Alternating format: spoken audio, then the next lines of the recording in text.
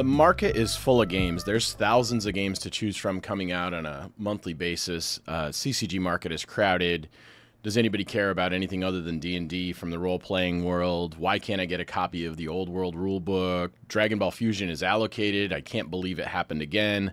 The Dune, new Dune movie's releasing. Is there anything that is going to impact what I'm going to order based on pop culture stuff? How do I sort through the noise and pick the games that actually matter? Uh, stay right here and find out. So, welcome back to Game Retail Ramblings. This is episode four. I'm coming to you from drizzly Rochester, New York, today at Millennium Game Studios, home of the largest game store in the industry. Uh, today, we're going to talk about how I pick the games that I'm going to sell. Um, please like and subscribe if you haven't already. It's free to do so. My biggest role in this business is primary buyer. Um, I'm going to put a caveat on that, and I'm going to say that at this point, uh, buying has gotten to be so large for the store that it's not just me anymore. Uh, I've got other employees that help me out with that. I've got some employees that have entire sections of the store where they order. Uh, some of them were trained by me. Uh, some of them we collaborate with based on the decision making um, and figure out what's successful and what isn't and I sort of mentor them in a way to to get them up to speed with that. And typically those decisions just come from their own passion, the things that they like to sell. I've found that if you're passionate about something, your headspace is in that particular product line, that genre. Uh, your value and your acumen for that is is what I need to be able to pick what other customers are going to like for that sort of thing. So the caveat that I'm going to list here is this is the process that I go through. Their process may be different. I have a handful of them that order in different areas. They could get on here and tell you something completely different. But for the most part, this is the way that I decide okay, these are games that are going to be things that I think matter, things that I think matter to our customers, things that I think can be really, really big if I can get this these products out in front of a customer and they get to see how exciting and how fun they are to play. So when I was hired here I started part time and then I worked into a full time role. And the way that I did that was by implementing the point of sale system that we had back then. And part of doing that was transitioning into the primary buyer. At that time, there was a there was a couple of people that were doing the buying. There was one person that was focused on Games Workshop, and another person that was doing role playing, and a third person that was doing CCGs so on and so forth. And over a period of time, I kind of just gobbled those all up and I took those all underneath um, my purview and started working with those different brands, different genres. And at, at one point, I was ordering all the product that came in the door for the store. In order to do that, what I found myself doing, and part of this series, was when an opportunity came up to go to a trade show or a convention or a distributor open house, I got my butt in the car, I got on a plane, and I flew out to meet these people.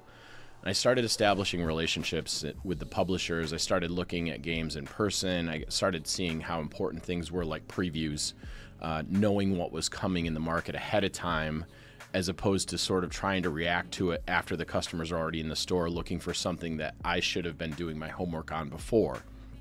Now, back then, things were a lot easier uh, in terms of the number of releases that would come out in any given week. I spent a lot more time on the phones with my reps back then. They, uh, email wasn't as big of a deal back then. I email primarily now for everything. Anybody that knows me or that talks to me knows that specifically I don't pick up the phone very often unless it's my mom calling.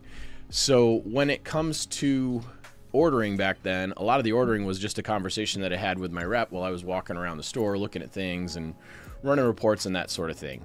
So, fast forward a little bit, I, I establish some relationships. I get out, I, I figure out what the landscape looks like, and then I start looking around to try to figure out how I'm going to piece together the the hits that matter. Some of that information previously would come from my sales rep because he had a he had a finger on the pulse in the way that I didn't. I was new to the industry. I didn't know all the players, and I didn't definitely didn't know all the games. Um, so I slowly crept my way sort of through that, and I started by building those relationships and getting familiar with the people in the industry that mattered. So as I progressed through that and got to meet people and have conversations and follow up and, and do some networking, I also was able to have a handful of retailers that I became friends with those retailers had similar business philosophies that I did. They didn't necessarily have the same size store. Their focus wasn't necessarily on what our primary focus was, but all of us were trying to sell games. So having retail relationships also helped in that process because they sort of they could gut check me at times if I was going to take a big swing on something. Uh, having somebody else that I respected and that I knew was sort of in it the same way that I was, even though it was their store and their investment, made things a lot more smooth. It didn't mean that we, it didn't mean that collectively we hit a home run every single time. But what I, what I came to find out is a lot of times if I talk to other retailers at these shows, and had conversations with them about the stuff that didn't sell. A lot of times, all of us missed on the same thing, which was also reassuring for me, too. So, today, you know, primary focus, we're going to talk about games, what tools I use, what things are helpful to me in order to, to try to do the best that I can about curating games. Uh, I had a ranty post on Facebook the other day that was a quote that I've seen so many times from retail the the two things that I, that I hear other retailers say a lot that drive me absolutely bonkers is they must hate money in response to looking at the way that a retailer or a sales outlet has decided to price a particular product and I didn't bring any in because I didn't have any customers that asked me to order it. If I only brought in the things that customers, primary customers, asked me to carry in the store without just using my professional acumen to curate the products that are in the store, I wouldn't carry most of the stuff that I have now. The same goes for, well, I don't like that game, so I'm not going to carry it. It doesn't matter whether I like the game all that much. It just matters if I can sell the game because my goal is to sell games, to keep the lights on, to keep my employees' paychecks flowing, that sort of thing. So the customer's job isn't to come in and inform me what it is I should be carrying. It's great when we do get that feedback, but the reality of it is the majority of the customers come in and purchase things without having any conversation with us re- with regard to what they'd like us to stock or what we might need or this or that or the other thing. The ones that do great, appreciate it. Uh, I need those those kinds of insights and things, but we also do other things to figure out what the potential market for a particular game might be. As an example, we ran uh, the Star Wars Unlimited Roadshow. So Asmodee was nice enough to put together uh, an opportunity for retailers to be able to use some starter decks to figure out if if players in your area wanted to be able to to purchase Star Wars Unlimited when it came out, and and it was pretty successful. Those opportunities are are incredible. Being able to have that stuff ahead of time, show it to some customers, give them an idea, a taste of what the game is before they have to make purchasing decisions. That's that's like AAA chef's kiss type stuff. So today I'm going to give uh, seven things that are part of the arsenal that I have for picking games. These are in no particular order. This isn't a top seven, but it's certainly seven different things that come into play when it, when I'm evaluating a game. Some of these are going to be focused on uh, more on board games. Some of this is focused on maybe miniatures a little bit more. Some of it's focused on CCGs, but most of it can can have a direct application to everything that you're looking at. So number one on the list is appearance. My employees can't be in every single aisle talking to every single customer for every single interaction, which means that there's an amount of lifting that your box art and the back of your box is going to need to do as a publisher in order to get consumers excited about a game. Sometimes it doesn't matter because the game is just absolutely incredible and everybody just can't wait to come in to buy it. Most of the time, though, having an evocative cover is going to help you out. Now, there are games out there that buck that trend. I, I, I, would say, and this is no offense to AEG or any of the folks over there, Cascadia does not have the most evocative cover that I've ever seen in the world. And we sold, you know, more than 100 copies of that game last year. So it can buck the trend, but in most cases, the more evocative your cover is, the better it looks, the less beige that's on the cover, um, the more likely it is to stand out. You know, when I think about box art that is pretty attractive and that looks good, you know sometimes less is more. If you if you look at a game like pantone that just has that red with the pantone at the bottom it makes people walk over there and see what it is. The back of the box should be your salesperson.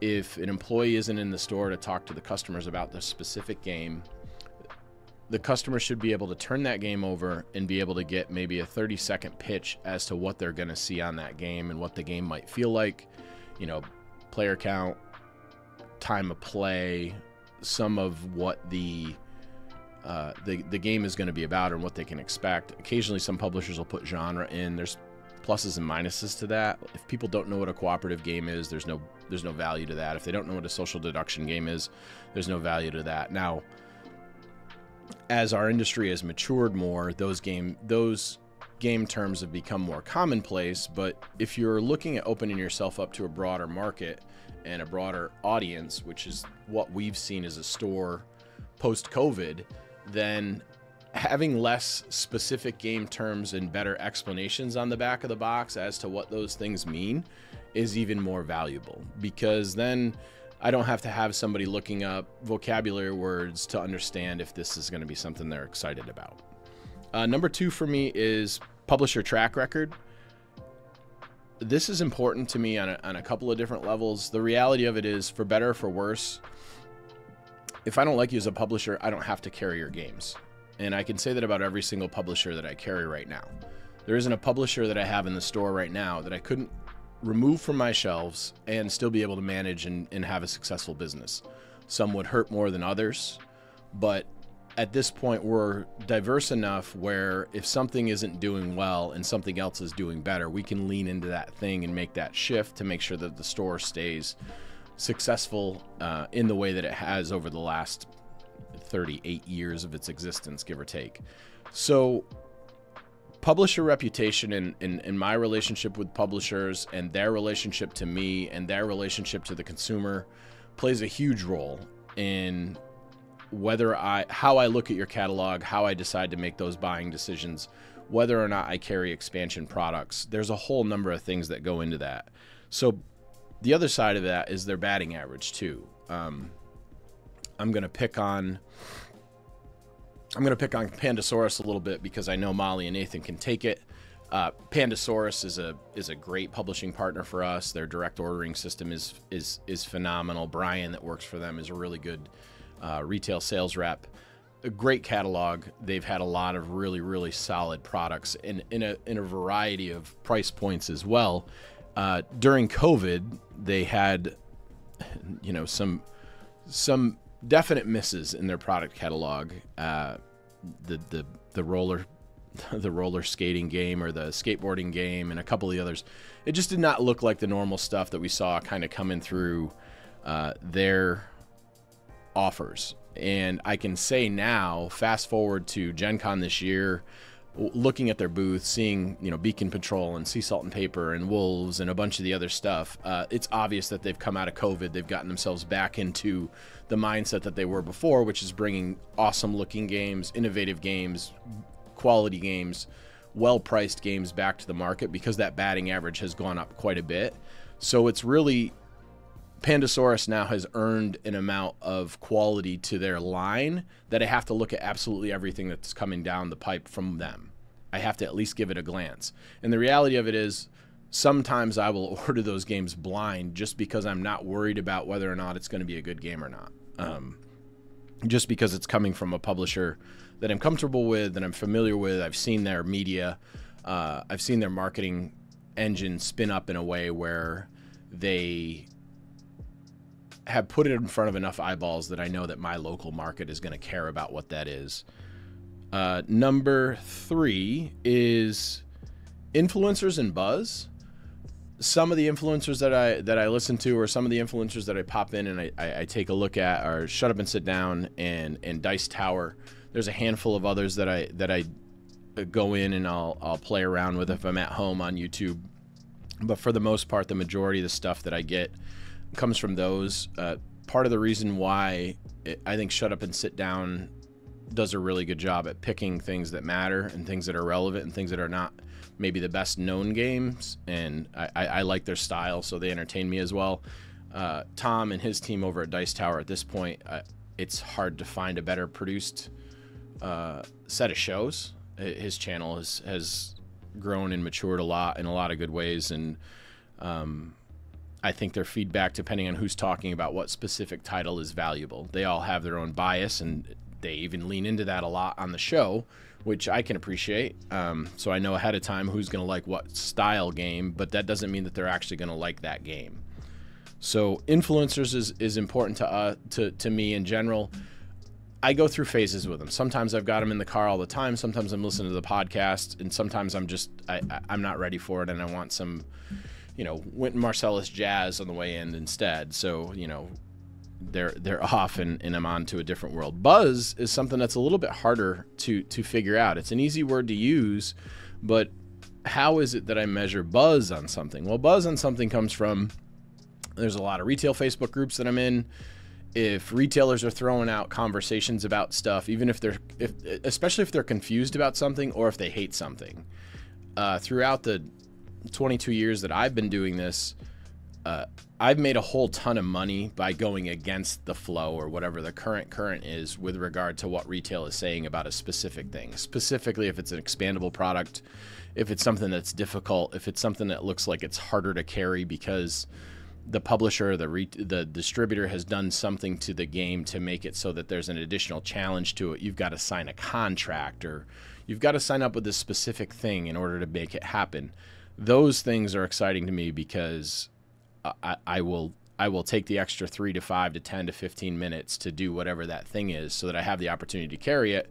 And if they're not, that means there's less sales outlets out there to, for me to compete with. So I'm even more excited. If there's only 12 or 24 retailers that are carrying this product, I'm not worried about whether it's a unique product that I'm bringing to my customers in a way where they're going to look at it and go, "Oh, wow, this is pretty amazing.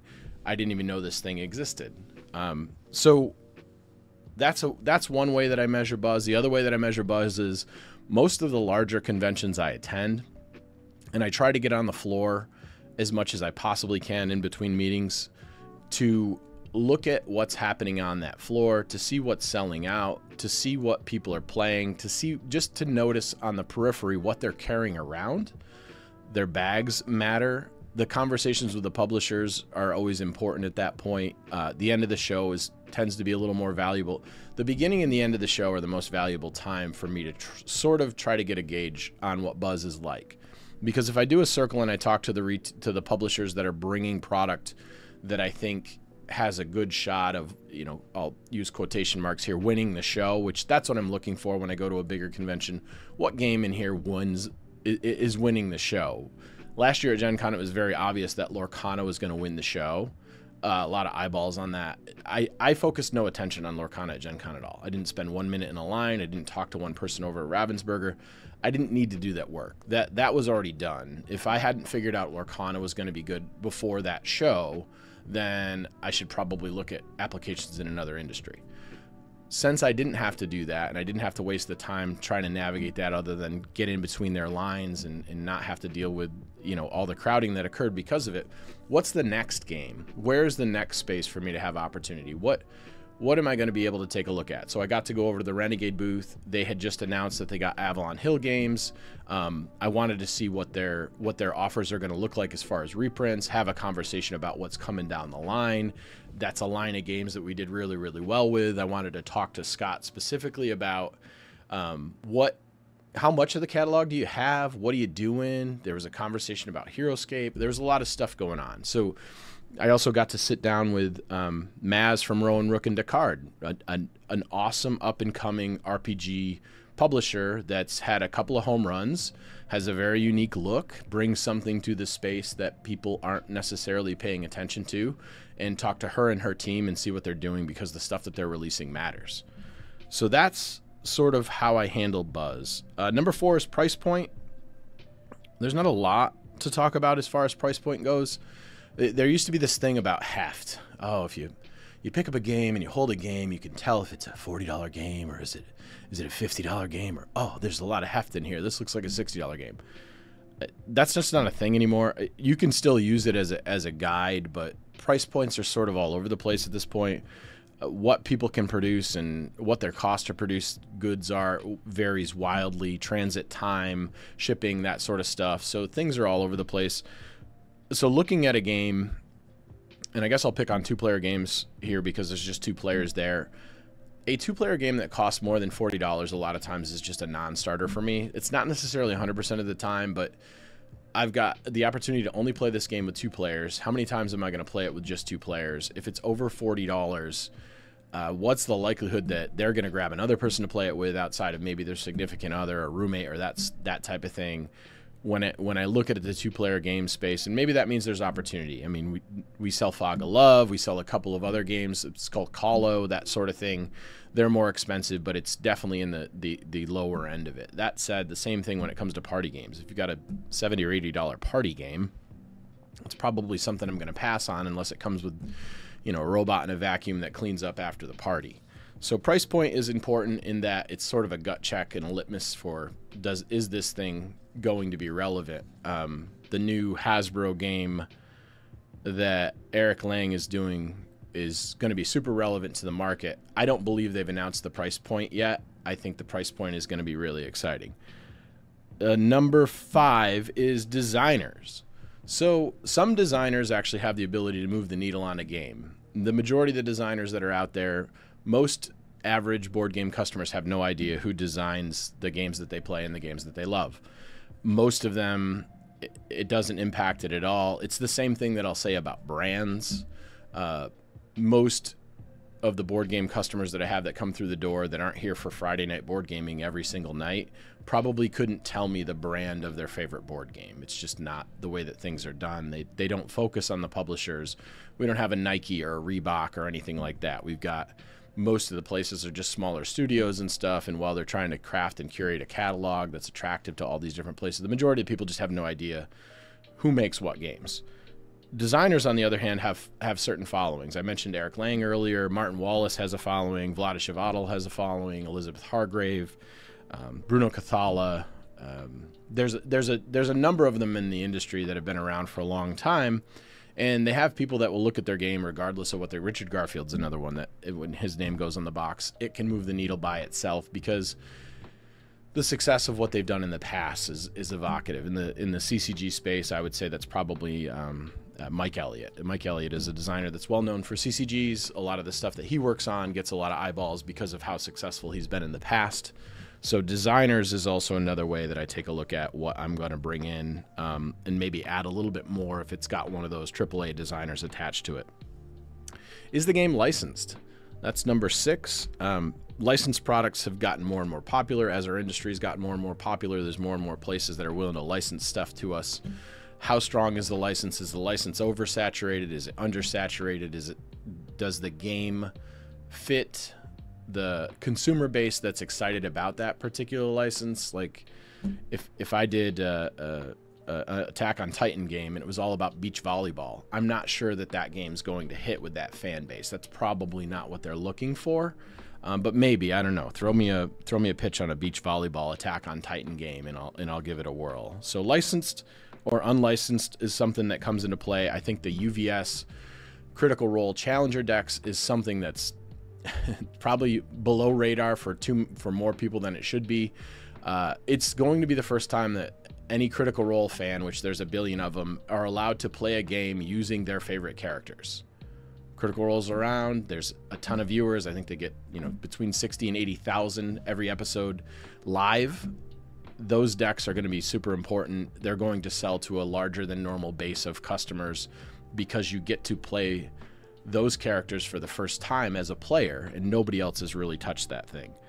Uh, number seven is innovation slash disruption. Uh, when I look at things like a Keyforge, uh, Star Wars Destiny, Dice Masters, the new Altered TCG, these are games that are going to come into the marketplace and they're doing something a little bit different or something that hadn't been done before. They're innovating on something. Maybe it's a technology piece that they've added to the game that wasn't part of the game before. And it isn't just this extra thing that's a narrator for the game. It actually helps you play and it makes the play experience better. Innovation is super important. I think it's also one of the things that so many retailers shy away from because it's different it's not something that they understand. They don't know what the market's going to be. It's scary. I don't know if this is going to be something that my customers are going to care about. This is a, a completely unique deck. Why would anybody want to do that? They can't customize it. So, innovative, disruptive games are my favorite games because the opportunity is endless if you know how to evaluate that game and look at the game from a positive spin and say, this is doing something that's a little bit different I'm not looking for a game that I'm going to have on my shelf for 20 years. I'm looking for a game that I'm going to sell as many copies of I can as I can in the first 30 days, 60 days, 90 days, 120 days, and continue to do well with that game. If it's an expandable game and I'm carrying it for three to five years, perfect. It's bucked the trend of most of them. But it's my job to find games that are super important to the, my customers, bring them in regardless of whether they ask them, that regardless of whether they ask me for them, and then see what they do in my space. If it's a if it's a game that requires tournaments and events, sometimes the events alone, if they're cool enough, can be a reason why I bring in a game to put in front of customers because I know I'm I'm, I'm not just selling them a game, I'm selling them the experience.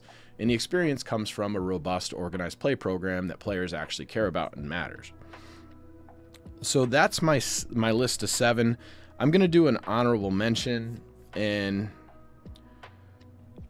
my honorable mention is, and this is specific, given the fact that I'm on my way to GAMA and at the during the weekend. Um, does the game have a, a, a sale or some kind of a special pricing associated with it? Sometimes you can find those on Kickstarters.